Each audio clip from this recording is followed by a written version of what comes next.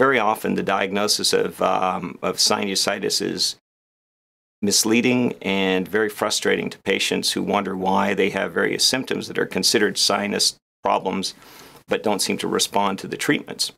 And so, what I've um, spent, frankly, most of my career is is looking into rhinology, sinus problems, endoscopic sinus surgery, and developed a, a mechanism to analyze the symptoms, ensure that they're really part of the disease, look at the physical exam, look at the CT, look at the imaging, and then come up with a plan that doesn't always include surgery. In fact, frankly, most of the time people are better off, you know, making sure that they've tried all the medical management options before surgery. But when it does come to surgery, um, uh, most 90 plus percent, more than that actually, do better. And I think that's, to me, a mark of applying correct surgical procedures at the right moment for a disease after ensuring that that's what the problem is. I started in my career when endoscopic sinus surgery was just starting to be put in place. Prior to that, it was sort of almost blind type surgery without endoscopes. And since then, there have been technical advancements, one of which is the computer guided uh, imaging. At the time of surgery, real time, while you're uh, operating, you have an exact idea of where your instruments are.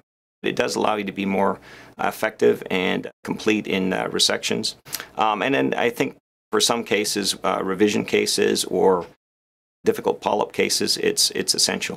The Everett Clinic, um, frankly, has been very good about staying on the forefront of technologies that are safer and more effective. But we also have uh, such integrated capabilities within the building that we can have the patient walk right upstairs um, and get a CT within 15 or 20 minutes, come back down and finish that evaluation. So it's very convenient for the patient. We also have access to the referring doctor's records through our electronic medical record.